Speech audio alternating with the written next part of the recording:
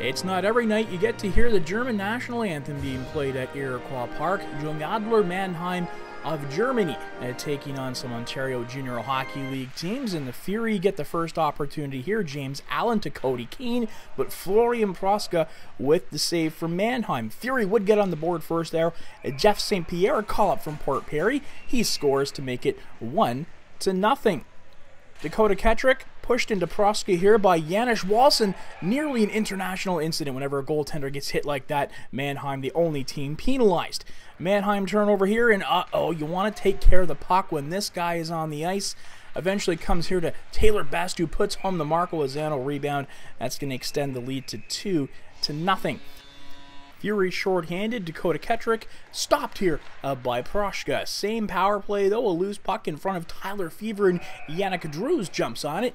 That's going to cut the lead down to 2 to 1, but moments later it's another turnover and that leads to a third Whitby goal. James Allen pounces and whips this shot home to restore the two-goal lead.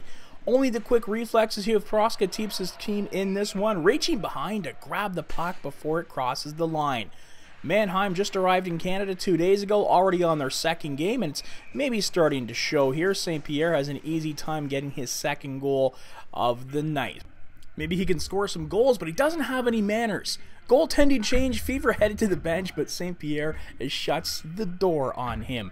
5 to 1 now as Jeff Murray finds Sean Durock. He's stopped, but Keene is there to poke home the rebound. Mannheim would get that right back, though, as Boyd DiClemente's kick save lands on the stick of Valentin Kopp. Dakota Kettrick rounds out the scoring, gets a few whacks at the puck before he's finally rewarded 6 to 2 at that point, and that is the final for the Whitby Fury. They outshoot Mannheim 41 to 28. Marc Michaelis, who says Patrick Kane is his favorite National Hockey League player, sums up his team's experience against one of the best in the Ontario Junior Hockey League. It's way different um, level um, here in Canada. So, um, in Germany, it's, it's an under 18 league, but it's um, just hard here.